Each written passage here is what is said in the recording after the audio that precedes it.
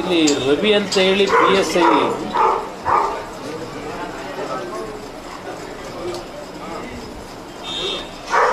ರಾತ್ರಿ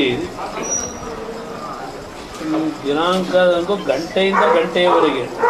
ಹೇಗಿದೆ ನೋಡಿ Ravi, B J P S I Nagamangala town police ಠಾಣೆಯರವರು ದಿನಾಂಕ ರಂದು ಗಂಟೆಯಿಂದ ಗಂಟೆಯವರೆಗೆ ನಾಗಮಂಗಲ ಸರ್ಕಾರಿ ಆಸ್ಪತ್ರೆ ವಾರ್ಡ್ನಲ್ಲಿ ವೈದ್ಯರ ಸಮಕ್ಷದಲ್ಲಿ ನೀಡಿದ ಹೇಳಿಕೆ ಏನೆಂದರೆ ಅಂತ ಹೇಳಿ. ಸಮ, ಇಲ್ಲಿ ರಾತ್ರಿ ಒಂದು ರಾತ್ರಿ ಟೈಮು ಅಲ್ಲಿ ಎಷ್ಟು ಅಂತ ಹೇಳಿಲ್ಲ. ಇಲ್ಲಿ ಎಫ್ ಐ ಆರ್ ಕಂಟೆಂಟ್ಸಲ್ಲಿ ಅಲ್ಲೆಲ್ಲ ಒಂದೂವರೆ ಅಂತ ಹೇಳಿದ್ದಾರೆ. ಇಲ್ಲಿ ಇವರು ಹೇಳಿದ್ದಾರೆ ಇವರ ಹೇಳಿಕೆ ಪ್ರಕಾರನೇ, ಬದ್ರಿಕೊಪ್ಪ ಗ್ರಾಮದ ಗಜಪಡೆ ಯುವಕರ ಸಂಘ ಏನಿದೆ ಗಣೇಶ್ ಮೂರ್ತಿಯನ್ನು ವಿಸರ್ಜನೆ ಮಾಡ್ತಕ್ಕಂಥದ್ದಕ್ಕೆ ಹನ್ನೊಂದು, ಒಂಬತ್ತು, ಇಪ್ಪತ್ನಾಲ್ಕರಂದು ಚರ್ಚೆ ಮಾಡಿ. ಮೊದಲೇ ಪೊಲೀಸ್ನವ್ರಿಗೂ ಗೊತ್ತಿದೆ ಇದು. ಪೊಲೀಸ್ ಇಲಾಖೆ ಗಮನಿಗೆ ತಂದು ಪೊಲೀಸ್ ಇಲಾಖೆ ಅನುಮತಿ ಕೊಟ್ಟೆ, ವಿಸರ್ಜನೆಗೆ ಕಾಲಾವಕಾಶ ಕೊಟ್ಟರು ಕಳೆದ ವರ್ಷವೂ ಸಹ ಒಂದು ಸಣ್ಣ ಪುಟ್ಟ ಮೈನರ್ ಇನ್ಸಿಡೆಂಟ್ಗಳಾಯಿತು ಅಂತಕ್ಕಂಥದ್ದು ಮಾಧ್ಯಮದಲ್ಲಿ ತಾವುಗಳೇ ಈ ಘಟನೆ ನಡೆದ ನಂತರ ಹೇಳಿದ್ದೀರಿ. ಪೊಲೀಸ್ ಇಲಾಖೆಯವರು ಹೇಳಿದ್ದಾರೆ. ಇಂಥ ಒಂದು ಪರಿಸ್ಥಿತಿನಲ್ಲಿ ಮೆರವಣಿಗೆ ಪ್ರಾರಂಭ ಮಾಡಿ, ಏನು ಪಟ್ಟಣದಲ್ಲಿ ಪ್ರವೇಶ ಮಾಡಿ ಮುಖ್ಯ ರಸ್ತೆಯಲ್ಲಿ ಬಂದಂಥ ಸಂದರ್ಭದಲ್ಲಿ ಪಟ್ಟಣದಲ್ಲಿ ಇರ್ತಕ್ಕಂಥ ಮತ್ತೊಂದು ಸಮಾಜದ ಒಂದು ಪ್ರಾರ್ಥನಾ ಮಂದಿರ. ಪ್ರಾರ್ಥನಾ ಮಂದಿರದ ಮುಂದೆ ಇವರು ನಿಂತು ಡಿ ಜೆ ಸೆಟ್ಟನ್ನು ಇದು ಇಲ್ಲಿ ಅಂತೆಲ್ಲ ಎಲ್ಲ ಕಡೆನೂ ಹಾಕ್ತಾರೆ. ಪರ್ಮಿಷನ್ನು ಕೊಟ್ಟಿದ್ದಾರೆ ಇವರೇ, ಪೊಲೀಸ್ ಇಲಾಖೆ ಮೆರವಣಿಗೆಯಲ್ಲಿ ಬರಬೇಕಾದ್ರೆ ಒಂದೊಂದು ಕೋಮ್ನವರು ಒಂದೊಂದು ರೀತಿಯಲ್ಲಿ ಅವರವರ ದೇವರ ಮೇಲೆ ನಂಬಿಕೆ ಇಟ್ಟಿರ್ತಕ್ಕಂಥದ್ದು, ಅವರು ಘೋಷಣೆ ಕೂಗ್ತಕ್ಕಂಥದ್ದು ನಮ್ಮ ದೇಶದಲ್ಲಿ ನಡ್ಕೊಂಬಂದಿರತಕ್ಕಂಥದ್ದು ಇದು. ಇಲ್ಲಿ ನಾನು ಯಾತಕ್ಕೆ ಇದನ್ನು ಹೇಳ್ತಾ ಇದ್ದೇನೆ? ಈ ರೀತಿಯ ಒಂದು ಘೋಷಣೆಗಳು ಕೂಗ್ತಕ್ಕಂಥದ್ದು ಒಂದೊಂದು ಬಾರಿ. ಘರ್ಷಣೆಗೆ ಎಡೆ ಮಾಡಿಕೊಡ್ತಕ್ಕಂಥದ್ದು ಏನಿದೆ? ರಾಜ್ಯದಲ್ಲಿ ಕೆಲವು ಎರಡು ಮೂರು ಜಿಲ್ಲೆಗಳು ಹೊರತುಪಡಿಸಿ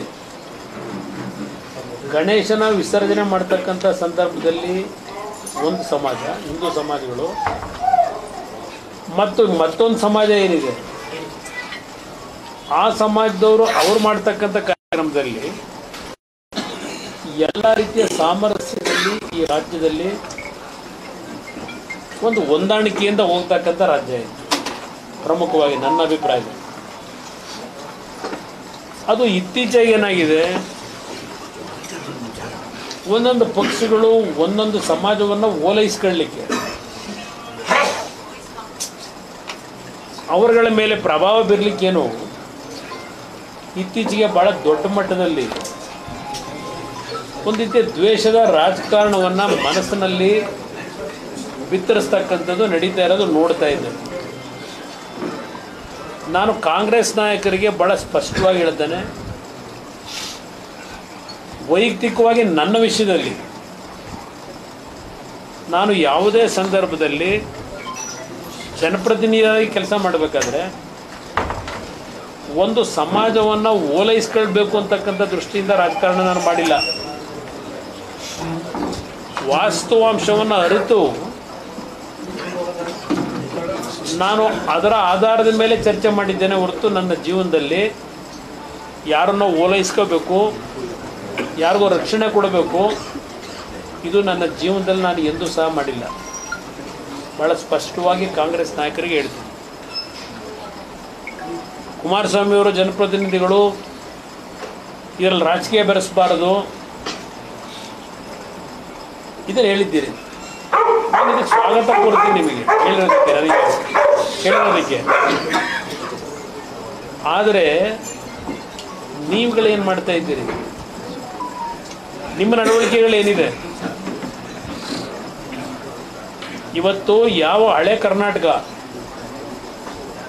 ಅದು ಮೈಸೂರು ಇರಲಿ, ಹಾಸನ ಇರಲಿ, ಮಂಡ್ಯ ಇರಲಿ, ತುಮಕೂರು ಇರಲಿ, ಬೆಂಗಳೂರು ಗ್ರಾಮಾಂತರ ಇರಲಿ, ರಾಮನಗರ ಇರಲಿ, ಕೋಲಾರ ಇರಲಿ, ಚಿಕ್ಕಬಳ್ಳಾಪುರ ಇರಲಿ.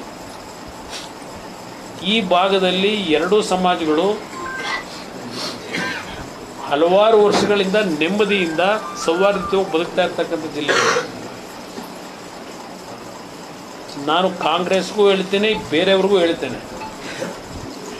ಈ ನಮ್ಮ ಈ ಭಾಗದ ಜನತೆಯ ದುಡಿಮೆ ಏನಿದೆ, ಅವ್ರ ಬದುಕೇನಿದೆ ಆ ಬದುಕಿನ ಜೊತೆಯಲ್ಲಿ ನಿಮ್ಮ ನಿಮ್ಮ ರಾಜಕೀಯದ ಒಂದು ಸಂಘಟನೆಗೋಸ್ಕರವಾಗಿ ಆ ಬದುಕನ್ನು ಛಿದ್ರಗೊಳಿಸಬೇಡಿ ಅಂತಕ್ಕಂಥದ್ದನ್ನು ಹೇಳಲಿಕ್ಕೆ ಬಯಸ್ತೀನಿ. ನಿನ್ನೆ ದಿನ ಕೆಲವು ಎರಡು ಸಮಾಜದ ಹೆಣ್ಣುಮಕ್ಕಳು ಮಾಧ್ಯಮದ ಸ್ನೇಹಿತರ ಮುಂದೆ ಅವ್ರ ನೋವನ್ನು ಹೇಳ್ಕೊತಾ ಇದ್ರು. ನಾವೆಲ್ಲ ಒಟ್ಟಾಗಿ ಇದ್ದಂಥವ್ರು ಅಂತ ಹೇಳಿ. ಚೆನ್ನಾಗಿ ಬದುಕ್ತಾ ಇದ್ವು, ಇವತ್ತು ಈ ಥರ ಒಂದು ಘಟನೆ ನಡೆದೋಯ್ತು ಅಂತ.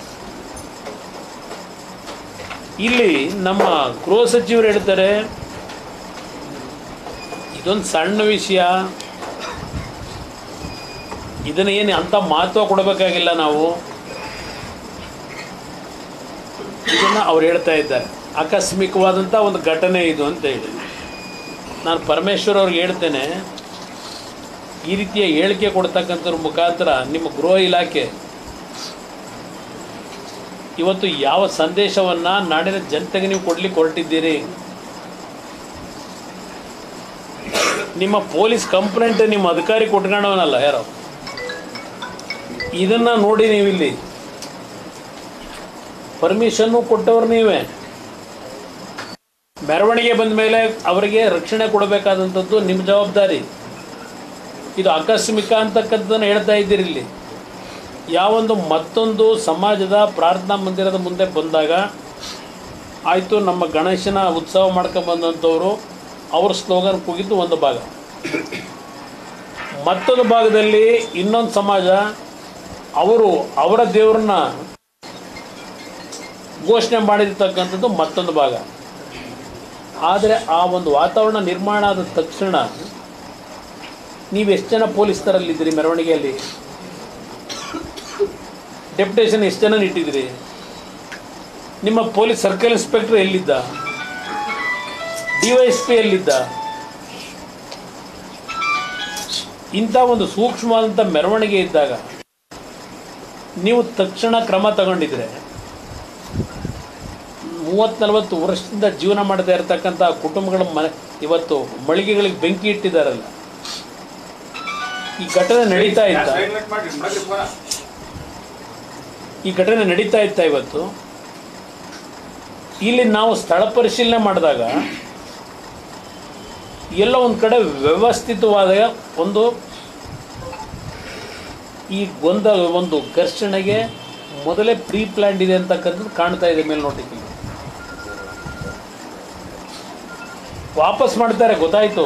ನಮ್ಮ ರಿಸರ್ವ್ ಪೊಲೀಸ್ ಇದ್ದಂಥವ್ರನ್ನ ಕಳಿಸ್ತಾರೆ ಬೇರೆ ಕಡೆಗೆ. ಇಲ್ಲಿ ಸ್ಪಾಟಿಂದ ಇಲ್ಲಿ ಘಟನೆ ನಡೆಯೋದಕ್ಕಿಂತ ಹತ್ತು ನಿಮಿಷದ ಮುಂಚೆ ಇಲ್ಲಿದ್ದಂಥ ಹೆಚ್ಚುವರಿ ರಿಸರ್ವ್ ಪೊಲೀಸ್ ಏನಿತ್ತು ಅದನ್ನು ಕಳಿಸಿದ್ದಾರೆ ಅಂತಕ್ಕಂಥ ಮಾಹಿತಿ ಹೇಳ್ತಾರೆ. ಎಲ್ಲರನ್ನು ವಿತರಣೆ ಮಾಡಿದ್ರು ಅಂತ ಹೇಳಿ. ಯಾರು ವಿತರಣೆ ಮಾಡ್ಲಿಕ್ಕೆ ಹೇಳಿದರು? ಗೃಹ ಸಚಿವರು ಹೇಳಿದ್ರು, ಮತ್ತಾರು ಹೇಳಿದ್ರು? ನೀವು ಘಟನೆ ಇಲ್ಲಿ ಏನು ದೊಡ್ಡ ಪೆಟ್ರೋಲ್ ಬಾಂಬ್ಗಳು, ಏನಂತೂ ನಿಮ್ಮ ತಲ್ವಾರ್ಗಳು ಇಟ್ಕೊಂಡು ಓಡಾಡ್ತಾ ಇರ್ತಕ್ಕಂಥ ದೃಶ್ಯಗಳನ್ನ ನಿಮ್ಮಗಳಿಗೆ ಮಾಧ್ಯಮದ ಸ್ನೇಹಿತರಿಗೆ, ಘಟನೆ ಪ್ರಾರಂಭ ಆದ ಒಂದು ಗಂಟೆ ಒಳಗೆ ನಿಮಗೆ ಗೊತ್ತಾಗ್ತದೆ. ನೀವು ಸ್ಥಳಕ್ಕೆ ಬರ್ತೀರಿ. ಈ ಸರ್ಕಾರ ಏನು ಮಾಡ್ತಾ ಇತ್ತು? ಇಂಥ ಒಂದು ಘಟನೆ ಸ್ಪ್ರೆಡ್ ಆಗ್ತಕ್ಕಂಥ ಸಂದರ್ಭದಲ್ಲಿ ಇದು ಇಲ್ಲಿರ್ತಕ್ಕಂಥ ಪ್ರಶ್ನೆ. ಈ ಲೋಕಲ್ ಅಧಿಕಾರಿಗಳು ಯಾವ ಮಟ್ಟಕ್ಕೆ ಕೆಲಸ ಮಾಡಿದ್ದಾರೆ ಇಲ್ಲಿ ಅಂತ ಹೇಳಿ.